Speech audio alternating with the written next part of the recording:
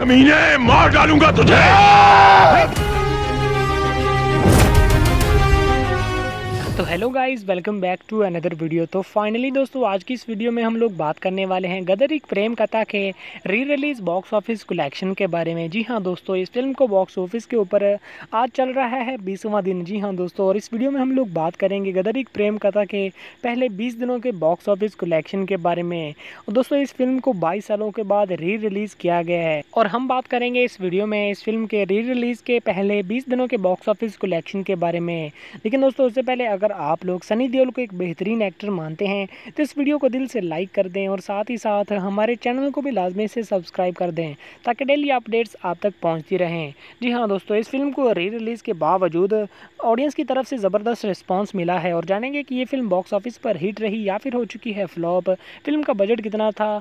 दोस्तों, इस फ़िल्म को डायरेक्ट किया है अनिल शर्मा ने। इस फ़िल्म में हमें सनी देओल के साथ अमीशा पटेल और अमरीश पुरी अहम किरदारों में नज़र आए थे। अगर दोस्तों बात की जाए इस फ़िल्म के first time box office collection की, यानी कि आज से 22 साल पहले जब रिलीज़ किया गया था तो दोस्तों इस फ़िल्म ने इंडिया से लगभग अठहत्तर करोड़ रुपए की कलेक्शन की थी। और इसी तरह दोस्तों फ़िल्म ने वर्ल्ड वाइड एक सौ तैंतीस करोड़ रुपए की कलेक्शन करके बॉक्स ऑफ़िस के ऊपर एक ब्लॉकबस्टर मूवी साबित हुई थी। लेकिन अगर मैं बात करूँ अब, यानी कि फ़िल्म के री रिलीज़ बॉक्स ऑफ़िस कलेक्शन के बारे में तो दोस्तों इस फ़िल्म ने अपने पहले दिन लगभग चालीस लाख रुपए से ओपनिंग ली, जो कि समझिए तो एक अच्छी शुरुआत कह सकते हैं। इसी तरह दोस्तों फ़िल्म ने बॉक्स ऑफ़िस पर अपनी मज़बूत पकड़ बनाए रखी, और फ़िल्म ने अपनी रिलीज़ के सतारवें दिन कमाए लगभग 16 लाख रुपए।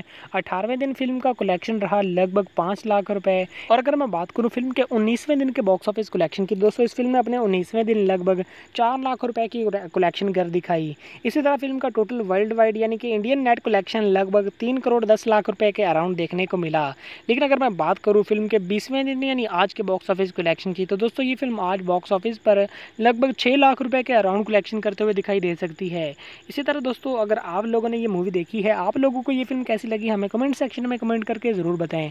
और ऐसी ही मजीद वीडियोस देखने के लिए बॉक्स ऑफ़िस रिपोर्ट्स जानने के लिए जुड़े हमारे साथ। मिलते हैं नेक्स्ट वीडियो में, तब तक के लिए गुड लक